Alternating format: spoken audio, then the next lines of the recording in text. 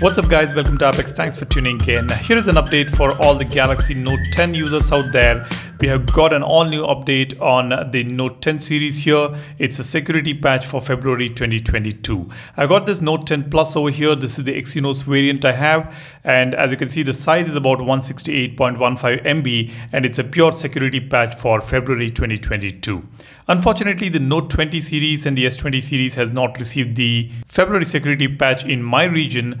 Uh, if you have already got the updates, do let me know in the comment section below. Now, as you can see, this is the change log which only talks about the security of the device, device stability improvements, bug fixes, and new or enhanced features. So I don't think there is any new features being added here. However, Samsung did release the object eraser feature, which was a much awaited feature on the Galaxy Note 10 Plus. Samsung has already released it just a day ago. I made a separate video on that showcasing those features. Along with the object eraser, it also got shadow eraser, reflection eraser features as well.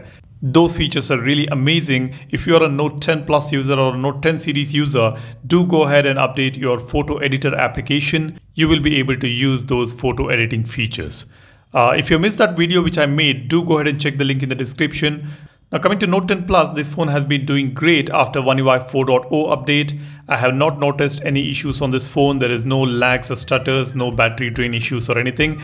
If you are facing any issues, do drop a comment. Let's discuss. If you haven't got the update yet, patiently wait for it. You will be getting it very soon. That is all I wanted to share with you guys.